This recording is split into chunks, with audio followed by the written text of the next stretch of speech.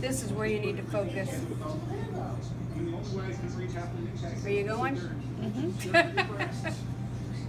this is how this is how we do it. Accordion bow. It's a name tag. The biggest thing should be the word name. Okay, so you scrunch it up all the way to the middle. Halfway. Okay. Pinch. Pinch. Put it around. That's, that's just a personal thing. Then pinch on this side where you had it pinched. Take this piece. It goes around. Where are you? I know you're there. Go completely around. Then where your finger is, see the Mhm. finger? This goes where the finger is. Pull it through. See, yeah, I'm cross-eyed, but yeah, it works.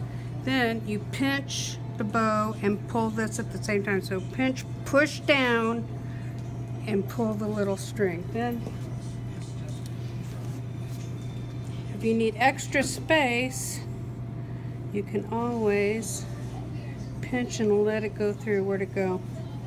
This side. Aaron, Let out a little bit. Mm, I'm totally worried. Okay? Now you can stop it. Yeah.